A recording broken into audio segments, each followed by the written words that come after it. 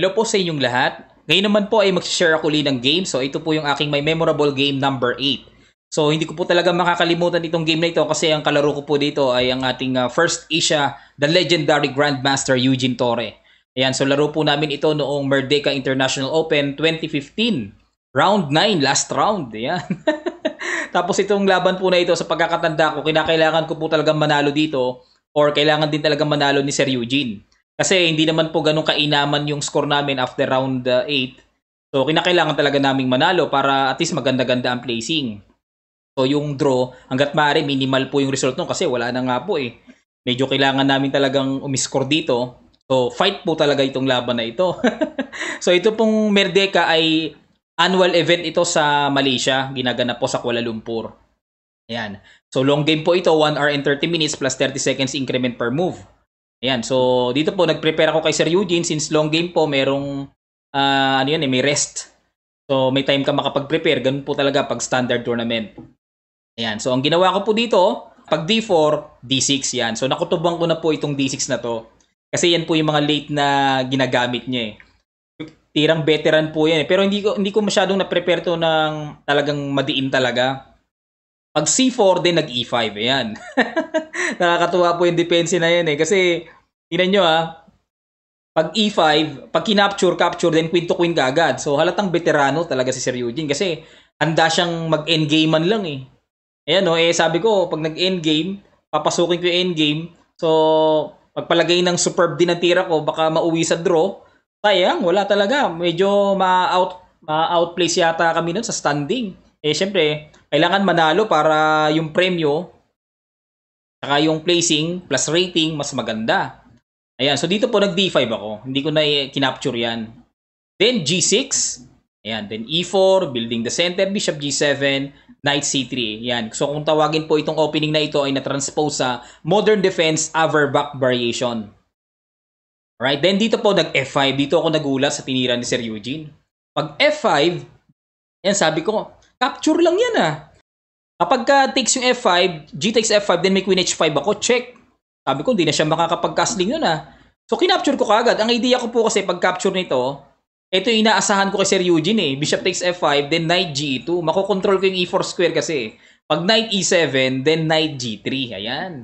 Tapos, let's say castle, then bishop d3 lang. Ayan. Hindi ko na po kakapturein yan kasi pag kinapture, kakapturein ng g-takes, then makokontrol na naman niya yung center eh. So, bishop d3 lang. Importante, mablock ng knight yung e4 para mabad ko yung fianchetto dark square bishop niya. Then, mar- marami pa akong mga important uh, squares na po pwede makontrol. So, theory po yan, theory sa ganitong pattern. Kaya mostly, itong po na pinaka-capture dyan eh. Yun nga lang, dito, pag F5, kinapture ko. Hindi ko po inaasahan na ang ipang capture ni Sir Eugene ay yung G takes F5. Yan ang hindi ko inaasahan.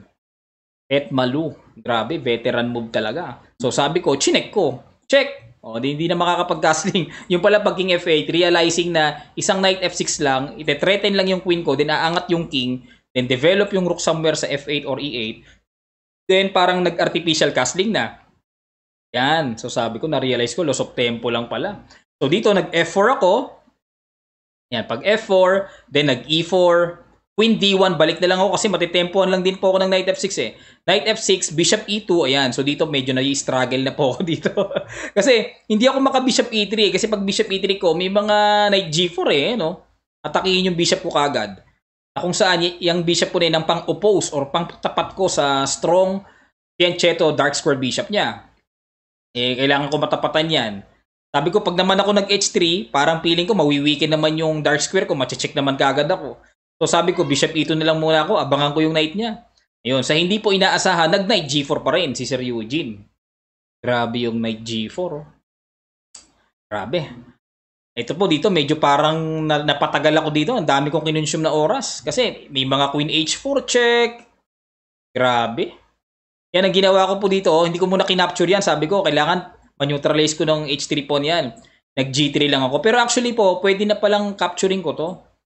Ayan, capture. And then let's say Queen H4 check. Ayan, actually po, pwede naman ako mag G3 eh. Eh di endgame na equal lang.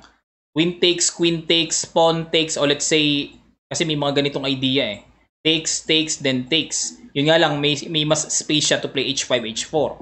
Yan po yung nakikita ko dito. Tapos mas space advantage siya, then meron pa siyang uh, magagamit na c5 square para sa knight. Somewhere on knight d7, knight c5, or knight a6, knight c5. Ayan. So sabi ko parang medyo nahihirapan ako dito. Pero dapat mas ito na lang ang pinili ko, mas okay-okay pa eh. Tingnan niyo po ha. Tapos nag G3 ako. So para lang wala siyang Queen H4 check ang idea ko, pipitikin ko yung knight sa G4 para bumalik uli. Then another tempo na naman para sa akin na makadevelop. Ayan. So dito nag H5. Yan. So nag H3 ako, kailangan ko nang paalisin yan. Nag knight F6, bishop E3 development. Yung nga lang ang problema ko po itong knight sa G1, delay ang development. Tapos nag king F7 na, rook C1. So ang idea ko po, may idea ako na magsi C5 ako, knight B5, ipe-pressure ko yung C7, yung D6. Ayan, pero dito po good move na naman yung ginawa ni Sir Eugene, nag C5 na naman. Galing. So talagang nakita niya yung paparating na yun. So ginawa ko, kinapture ko para mapanatili kong open kasi pag close, nako po, walang, ang hirap ng buhay pag close eh. So pinaka-capture niya po ay pawn. Yan, din nag B4 uli ako. Sabi ko, babasagin ko talaga yung queen side. Hindi pwedeng ma-close. Tsaka kilala ko rin naman po talaga, mas superb po si Sir Eugene sa mga close at semi-close position. Grabe yung ideas niya. Ayun. So, yun lang po yung sa side ko. Kasi pag ano, at least may laban ako, may chances ako sa mga open game. Ayan, Bishop E6. Ayan. So, dito, sabi ko, okay lang. Kailangan ko dito i-develop yung worst piece ko. Kaya ako nag-H4. Ang idea ko to play Knight H3, then Knight G5. So, nag-King G6 Sir Eugene. Knight H3, Rook E8. So, kasi po, may potential ako mag, ano eh, mag Knight G5. Then, tatago niya muna. Yan, kasi kung ititatago niya yan, nandito yung Rook worst yun. Pangit po yung rook niya dito sa h8. So, kinakailangan talaga ilipat niya yung rook niya sa e8. Worst kasi yun doon pag naipit na yan eh. Yan, then dito nag-castling na ako. Sabi ko, okay na ako. So, dito po talaga, tinignan ko rin po ito sa computer. Okay na ako dito. Advantage na ako dito. Kasi kahit pa paano, okay na po yung development ko. Nakapag-castling na ako. Ayan, so may weak square nga lang ako dito sa G4 pero okay naman yung outpost ng knight ko sa G5. Tapos may weak pa si Sir Eugene sa H5 naka-tie down din yung knight. So, may tendency mamaya, ibabarahan niya yan. Yan. So, dito, queen e7. Dito, masaya na po ako eh. Then, dito, nag-c5 ako. Ayan o, oh, nag-c5. Ayan. So, dito po, meron, medyo may na-miss din po ako. Tingin ko mas malak mataas ang resistance. Knight ce4. Yan ang na-miss ko na tactics. Grabe oh. Grabe, mananalo ko nga kay Sir Eugene, pang super GM naman na execution. pag knight CE4, ayun yan, tinan niyo po ha. Knight CE4, isa-isayin po natin. Kasi pag kinain ng pawn, ayan, F takes E4, meron po akong F5 check. So, isang square lang ang pupuntahan. King H6, di ba? Then, meron po akong Bishop takes H5 na naman. Naku po, grabe. Sobra naman yan. Parang binuhay si Michael Tal. Bishop H5, di sacrifice na naman. So pagpalagay po natin, pagpalagay lang po natin capturein para makita natin. Yan. So dito po meron pong Knight H7 double check. Then pag bumaba, yun po may Queen takes H5. Then isang harang, wala na eh. Then mate. Ang ganda ng pagkamate. Grabe oh. So balik po tayo ha sa Knight C takes E4 sacrifice. Paano pag capturein ng Knight? O pag kinapture naman ng Knight, meron akong Bishop takes H5 yan. Then, let's say king h6. Knight takes e4. Okay, so dito po, syempre, pagka f takes e4, may f5 check ako. Then, king h7, bishop g6, king h8, may queen h5 ako.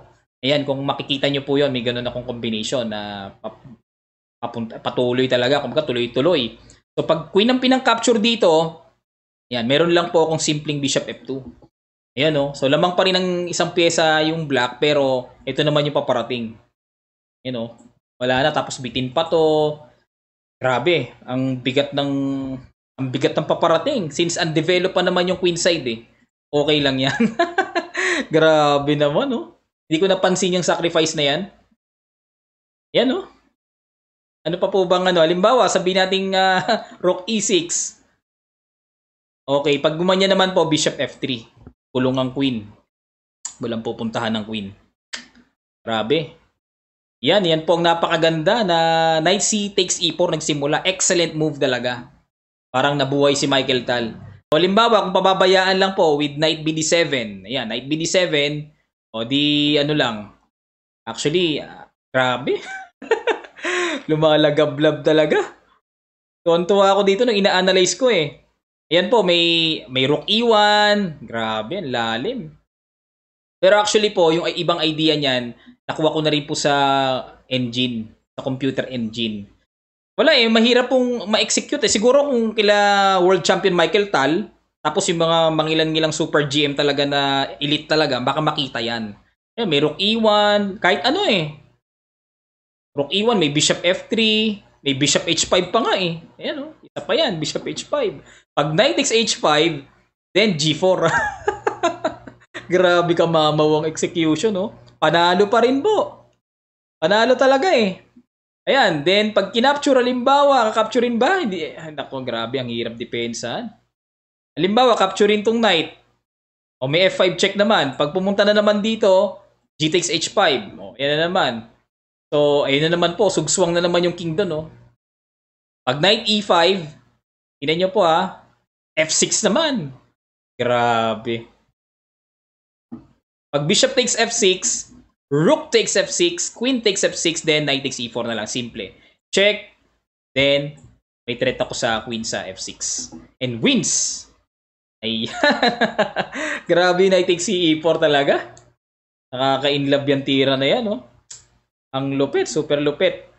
Yan po, yan po yung na-miss ko. Pero dito, strategic naman, when it comes to strategic plan, C5, good move din naman po yan. Nga lang, positional lang ang approach. Iba pa, iba pa rin talaga yung knight C takes E4. Excellent move.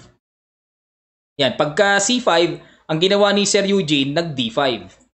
Alright, then nag-bishop d4 ako. Sabi ko dito, lamang na ako. So, nung tinignan ko po sa engine, lamang na nga rin talaga ako. Decisive advantage when it comes to positional advantage. Yan, knight bd7, b5, good move na naman.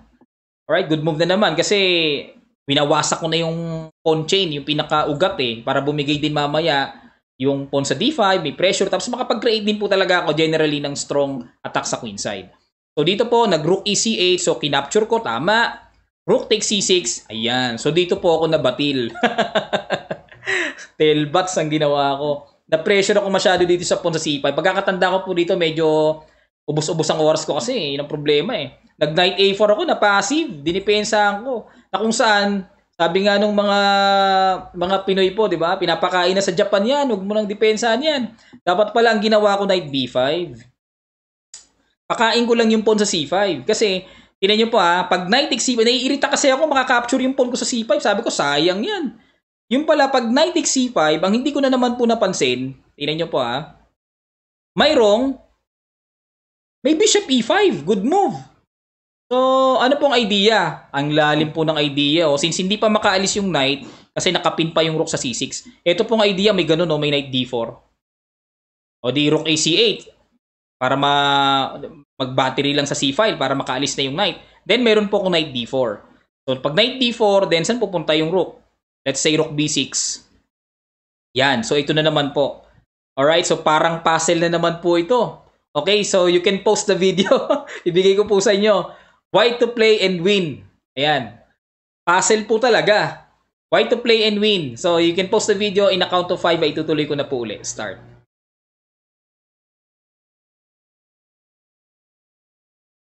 Okay, sa nakakita po ay para kayong si Michael Tal. Binuhay niyo si Michael Tal. Alright. Ito po, oh. Knight takes F5. Abi, excellent. So, King takes F5. Kasi naka-threat eh. Then, Bishop takes H5. Nakpo po, sobrang lakas. Ang idea, kung hindi niya papansinin, may G4. O, pamatchas na rin po yan, pamati na.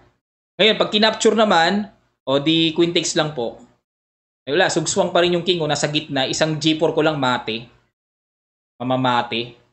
Wala na. Ngayon, pag nag-bishop takes, o di meron po akong G4, check. Pag king F6, then queen H6, mate. Grabe. Lumalagablab ang execution. Knight B5 ang tira. Pag kinapture ganun po ha, may bishop E5. Simpleng bishop E5 pala din. Idea knight D4. Ayan, so hindi makaalis po kasi yung knight eh, kasi may ganun ako lagi eh. May bishop takes h5 ako palagi eh. Ngayon, pag nag-knight g4 naman, may bishop takes g4. O pag h takes, knight d4. So, ganun pa rin po. May threat ako dun sa rook. So, pag bumaba, Halimbawa po, uh, rook cc8. Ayan, then h5. Check. So, bigay na yung pawn sa f5. Oh, bosh. Persadong kainin. O, di may knight takes f5 po ako. Double. Laglag yung bishop niya sa g7. So, one piece up ako. Yan. Grabe, sayang. Kung nakita ko po sana talaga yan, oh. Grabe, pero pang super GM po kasi execution eh. Wala, wala. Sa level ko po, hindi ko po na na-gets yung ganyang idea. Papakain lang. Tapos, Bishop E5, i-leave yung D4 square. Grabe na, mamawang execution. Ayan, so ang ginawa ko po dito, sa actual game, nag-knight A4 na lang ako, dinipensahan, wala na, hindi babay na. Pag rook B8 ni Sir Eugene, wala na, wala na akong magawa. Queen D2, knight E8, rook FD1, bishop takes D4, queen takes D4, knight EF6, bumalik lang ulit, nag-rook D2, wala na rin po akong magawa eh, kontrolado yung B5, like queen D8, magmamaneuver doon, rook B2, then queen A5, so dito po medyo maubos-ubos na po yung oras ko eh. Rook takes B8, Knight takes B8, nag-King F2 ako. Sabi ko baka mag magkaroon ng endgame, ready na yung king ko. Rook C8, so ang idea po magda Knight C6, good move. So dito po nabaliktad bigla. Ubus na, na nalusing akong bigla. Queen takes C5, Queen takes C5, Rook takes C5, King E3, then Knight C6. Ayan. So dito po, nag-resign na ako. Wala na, nag-resign na ako dito. Kasi may coming D4 na eh. Ayan. So sayang po kasi mas maganda sana yung nangyari kung nakita ko po yung napatagal talaga ako dito after Rook takes C6. Sabi ko talagang pakiram may pakiramdam po talaga ako lamang na ako dito eh. Kaya lang hindi ko napansin yung Knight B5. Kung nakita ko yung Knight B5, naku ganda sana. Pang ano, pang puzzle ang mangyayari. Alright, so maraming maraming salamat po at sana po ay natuto po kayo sa game na ito. Salamat po sa inyong matiyagang panonood. Medyo napahaba po ako. Pasensya na po. Ayan, so bago po tayo magtapos ay batiin muna natin yung mga nagpapabati. So binabati po natin sila uh, Mark Manalo, Karia Labutap ng uh, Gian Samar, Michael Lico, Mark Kendrick Reyes, Ivan Ernest Fabre, Warren Zayo ng Pasig, Reynante Kapunitan, uh, Emil John Rosales, Christian Leguis. Ayan. At uh, next page. At JM YT or YouTube siguro yung YT na yon. Ayun. So maraming maraming salamat po sa inyong patuloy na pagsubaybay sa channel na ito. At muli po ito po ang inyong lingkod International Master Roderick Nava. God willing po ay magkita-kita pa tayo sa mga susunod pang video.